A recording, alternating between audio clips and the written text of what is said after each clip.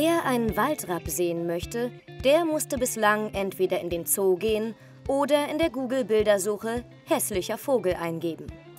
In freier Wildbahn hingegen ist der glatzköpfige Schreitvogel schon lange ausgestorben. Das liegt allerdings weniger an seinem eigentümlichen Aussehen als an den Wilderern, die den als Delikatesse geltenden Waldrapp in der Vergangenheit massenhaft vom Himmel holten. Johannes Fritz möchte den Waldrapp jetzt in Europa wieder ansiedeln und setzt dabei aufs Internet und dessen Vorliebe für tierische Außenseiter. Der Vogel lässt niemanden kalt. Die emotionale Reaktion reicht von abgrundtief hässlich bis absolut faszinierend. Der Waldrapp hat sicherlich etwas zum, äh, das Zeug zum Star. Das sehen wir, wo immer wir mit dem Waldrapp präsent sind. Also die Bevölkerung zieht der Waldrapp sehr rasch auf seine Seite. Und selbiges funktioniert auch im Internet. Das Waldrapp-Team um Johannes Fritz hat aber mehr zu bieten als eine Homepage und eine Facebook-Seite. Zunächst stattet es die Jungvögel mit GPS-Sendern aus. Im Waldrapp-Camp in der Nähe von Salzburg werden die Tiere dann für ihre Reise ins Winterquartier in der Toskana trainiert. Und diese Reise ist gefährlich, denn auch heute noch lauern Wilderer den Zugvögeln auf. Mit den GPS-Daten und mit Hilfe der Web-Community, die über die App Animal Tracker jeden einzelnen Waldrapp auf seiner Reise begleiten kann, hat Johannes Fritz aber endlich ein mächtiges Werkzeug gegen die illegalen Jäger.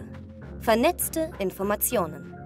Wir haben 2012 mit diesen GPS-Geräten angefangen und bereits im Herbst diesen Jahres ist uns gelungen, mit Hilfe dieser Technologie einen Wilderer zu identifizieren. Und das ist ein wichtiger Aspekt unseres Projektes, weil es auch ein Signal ist an die, an die Jägerschaft, an die Wilderer, an die potenziellen Wilderer.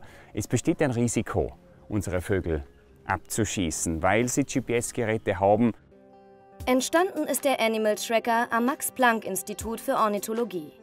Dort gibt es mit MoveBank.org bereits die größte Tierbewegungsdatenbank des Internets.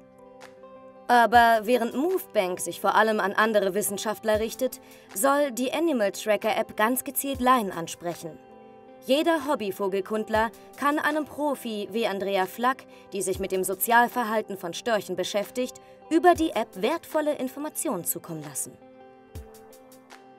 Ich weiß nie, ob der Storch jetzt alleine ist, ob 10, 20 andere Störche um ihn drumherum sind. Und da hilft es sehr, wenn Ornithologen, Freizeit-Hobby-Ornithologen rausgehen ins Feld, den Storch suchen, vielleicht äh, eine Beobachtung an uns weitersenden. Die können die App benutzen, um das Tier im Feld direkt ähm, zu finden und dann vielleicht ein Foto machen oder uns einfach sagen, ähm, wie sieht das Tier aus, was frisst es. Der Aufbau eines tierischen Internets ist aber nicht nur für die Forscher von Vorteil.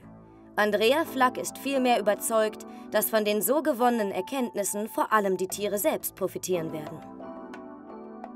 Ich denke, die Tiere werden was davon haben, wenn wir Menschen dann von unseren Erkenntnissen lernen und dass wir wissen, wo wir zum Beispiel unsere Wind- oder Stromstraßen hinbauen können und wo nicht.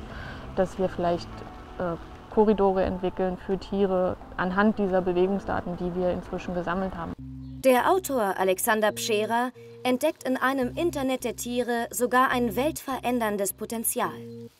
Es gibt ja fast keinen Lebensbereich äh, oder kein Biotop auf der Welt, das von Tieren nicht besiedelt wurde. Und da ist eine ungeheure Intelligenz entstanden. Und an diese Intelligenz kam, kamen wir bisher nur ran, indem wir Tiere beobachtet haben, also physisch beobachtet haben. Das setzte unsere Anwesenheit voraus.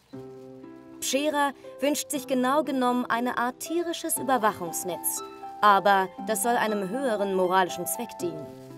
Jetzt wird es, glaube ich, äh, kann es möglich werden, über äh, Sender und über eine Informationstechnologie dieses Wissen auszulesen.